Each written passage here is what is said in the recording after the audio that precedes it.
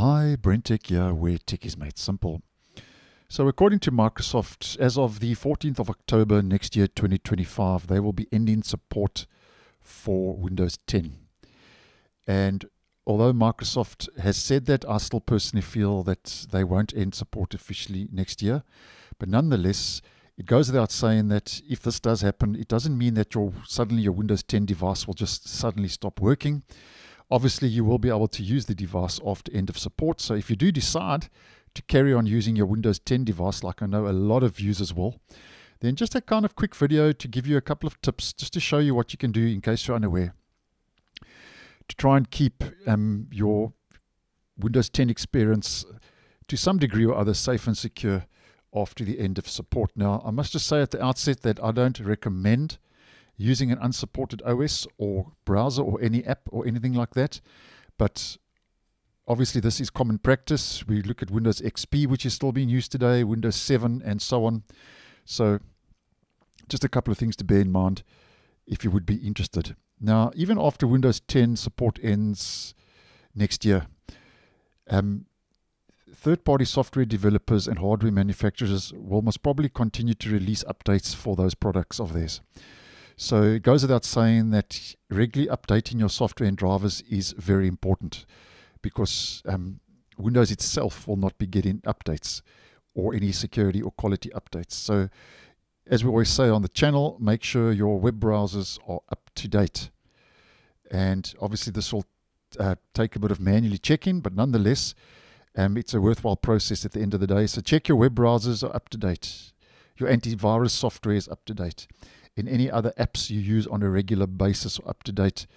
And for device drivers, you can also check the manufacturer's website um, for updates or use tools, um, third party tools um, to look for new driver versions. And I think IObit Booster is one of those which could be quite useful um, if you want to carry on using Windows 10 and keep your drivers up to date. Then it also goes without saying that you need to use good third party antivirus software because Windows Defender and the Windows Security app will no longer be getting updates because Windows 10 will not be supported. So this will increase the risk of vulnerabilities to some degree and to and as we go further past the October end of support date, obviously this risk will increase.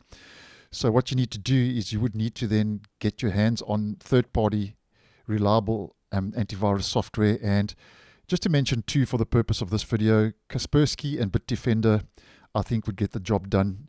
Um, if you want to continue using Windows 10, make sure you get a reputable third-party antivirus. Now, Windows 10 also comes with a built-in firewall, um, which will continue to function but I would suggest that you um, go for a more advanced third-party firewall, um, because obviously um, this is quite limited in its basic function if you think of it at, at the end of the day.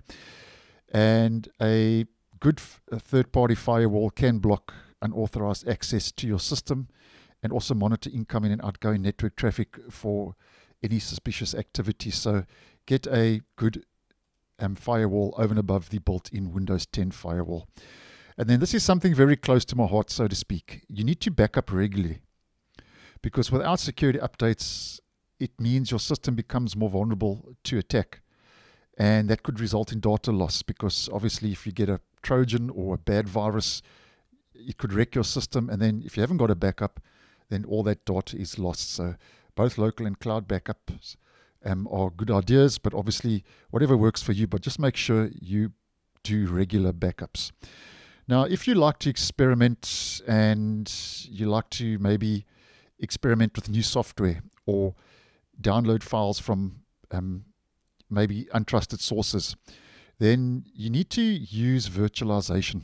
And I wouldn't do that in the actual OS itself. Um, I would use VirtualBox or VMware, which will create isolated virtual environments where you can test like dangerous actions, potentially dangerous software actions, and so on and without risking your main operating system. As I mentioned in the beginning, and make sure your browsers are up to date. But I would recommend um, switching to a secure browser because web browsers, as I mentioned on the channel, are your first line of defense to some degree or the other when it comes to threat and attack. So, with Windows 10 no longer obviously receiving security updates, this even becomes more important. So, using a, a secure browser becomes a lot more essential. So, obviously, you can use Google Chrome. I think any of the browsers we feature on this channel will get the job done. And uh, um, that's quite an important one. And obviously, make sure that browser is up to date.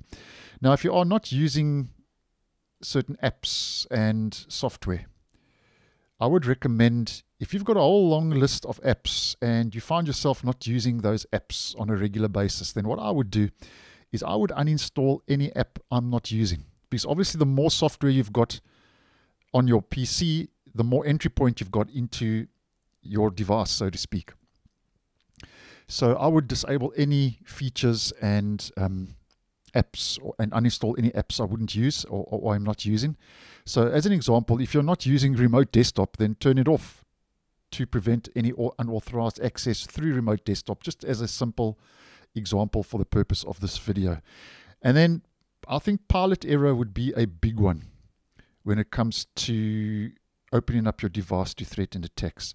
So, you need to kind of be aware of things like phishing emails which might increase as Windows 10 becomes more vulnerable. So always verify the source before just clicking on links and downloading attachments in your email. I would just keep a bit of a more sharper eye, and obviously don't visit dodgy websites and you know.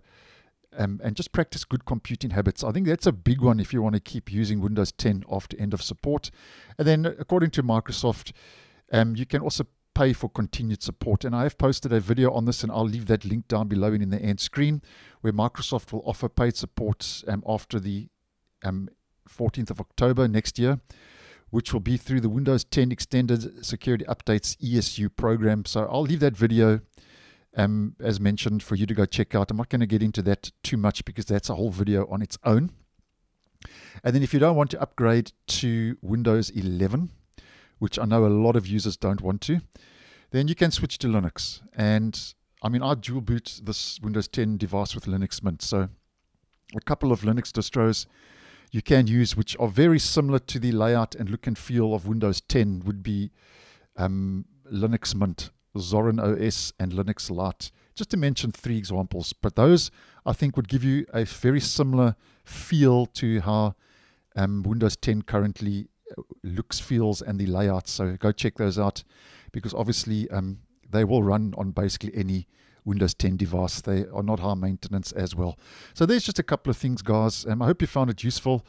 Um, obviously, if there's something I haven't touched on in this video, maybe um, I've just missed something that you actually think would be a good point, let me know in the comments. And that would be um, quite great because I always appreciate good um, constructive comments uh, down below. So that's just how you can keep using Windows 10 running safely to some degree or the other, although I don't recommend it after the end of support, which according to Microsoft will be next year on the 14th of October 2025. So thanks for watching, and I'll see you in the next one.